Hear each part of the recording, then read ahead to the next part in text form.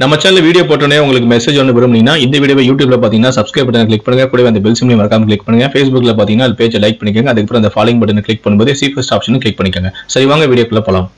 தருமபுரி மாவட்டம் ஒகேனக்கல் பகுதியை சேர்ந்தவர் தான் செல்வம் இவரோட விவசாயி. இவருடைய மகள் தான் ரேவதி.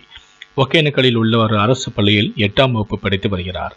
இந்நிலையில்தான் பாப்பரப்பட்டி பெரியூர் பகுதியை சேர்ந்தவர்தான் ஜெயகிருஷ்ணன். வயது அறுபத்தைந்து. இவர் ஒகேனக்கல் பகுதியில் வனப்பகுதியில் மாடு மேய்க்கச் சென்றுள்ளார். அப்போது வீட்டில் தனியாக இருந்த பள்ளி மாணவியான ரேவதியை ஜெயகிருஷ்ணன் பாலியல் பலாத்காரம் செய்ததாக கூறப்படுகிறது.